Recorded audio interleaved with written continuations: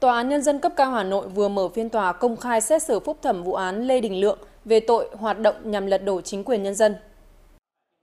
Trước đó, ngày 16 tháng 8 năm 2018, Tòa án Nhân dân tỉnh Nghệ An đưa ra xét xử sơ thẩm công khai vụ án Lê Đình Lượng, sinh năm 1965, thường trú tại xóm 9 xã Hợp Thành, huyện Yên Thành, tỉnh Nghệ An, về tội hoạt động nhằm lật đổ chính quyền nhân dân. Tòa án đã tuyên phạt Lê Đình Lượng 20 năm tù, 5 năm quản chế về tội hoạt động nhằm lật đổ chính quyền nhân dân. Ngày 20 tháng 8 năm 2018, Lê Đình Lượng đã có đơn kháng cáo. Trên cơ sở nội dung của vụ án, căn cứ vào các tài liệu có trong hồ sơ vụ án đã được tranh tụng tại phiên tòa, Hội đồng xét xử nhận định Lê Đình Lượng là người hoạt động đắc lực của tổ chức Việt Tân tại các tỉnh Nghệ An, Hà Tĩnh, Quảng Bình.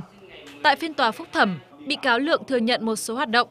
tài trợ hoạt động của Nguyễn Văn Hóa, tẩy chay cuộc bầu cử, xuất cảng sang Lào, phát loa truyền thanh tại nhà bị chính quyền địa phương nhắc nhở. Xét hành vi tính chất vụ án thuộc loại đặc biệt nghiêm trọng, hành vi phạm tội của bị cáo diễn ra trong thời gian dài, lôi kéo nhiều người tham gia, Hội đồng xét xử không chấp nhận đơn kháng cáo của Lê Đình Lượng, xử phạt 20 năm tù về tội hoạt động nhằm lật đổ chính quyền nhân dân, 5 năm quản chế kể từ ngày chấp hành xong hình phạt tù.